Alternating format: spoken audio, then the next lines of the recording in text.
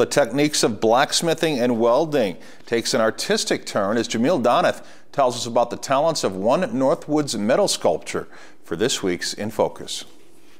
It's nitty, it's gritty, it's art. Metal worker and metal sculptor Paula Jensen welds, hammers, I'm making it square first. and drills hunks of metal into beautiful works of art. You wouldn't even know what it's going to be by the time I'm done when I start out. She started off as a painter, but when Jensen's husband taught her how to use the tough techniques of welding and blacksmithing, she ditched her easel for an anvil. It's a lot of fun.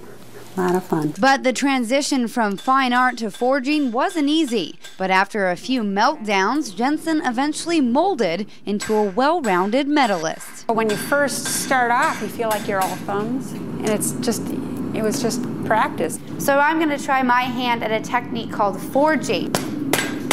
Just going to keep hitting it. So this is where the term strike when the iron's hot comes in, because once it gets cold, you can't use it anymore and you have to warm it back up. I'm to try to make the hook now. And there you have it, a hook. So it looks like I passed the first step to becoming a blacksmith. Jensen also started off mostly forging her artwork as a metalsmith, but now she is focusing more on her sculpting skills.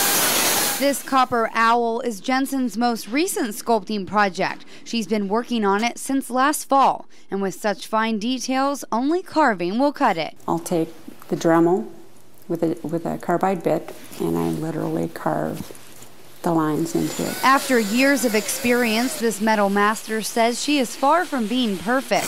But however imperfect Jensen claims to be, even she still manages to surprise herself. I'll step back and I'll go, wow, I made that.